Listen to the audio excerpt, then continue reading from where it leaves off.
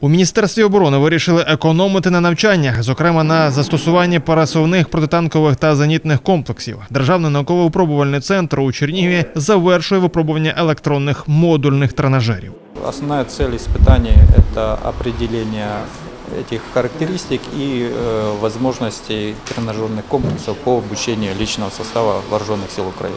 Зразу непривично, що е, близько до тебе знаходиться монітор і тому подобне, але до цього можна привикнути. Е, Тренажер досить е, хороший, е, як на перше враження. Після усунення всіх недоліків прилади підуть у військо. Та вже зараз можна сказати, що навчання зенітників та протитанкістів на тренажерах обійдеться для держави в рази дешевше ніж є зараз.